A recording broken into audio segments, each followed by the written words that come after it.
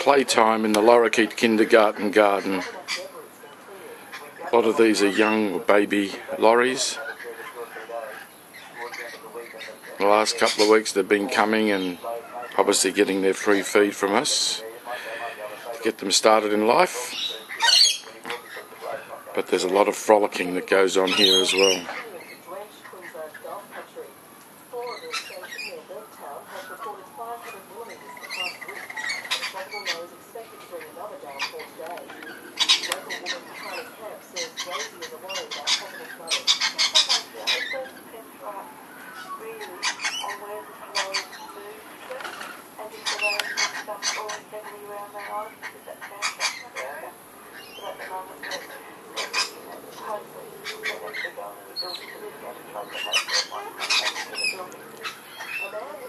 You don't get to see this too often. They're just playing, not hurting each other.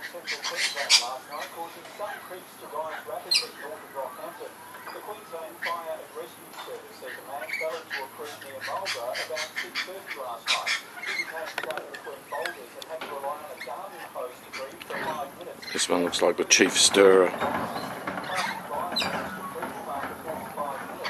There they go, you're off again.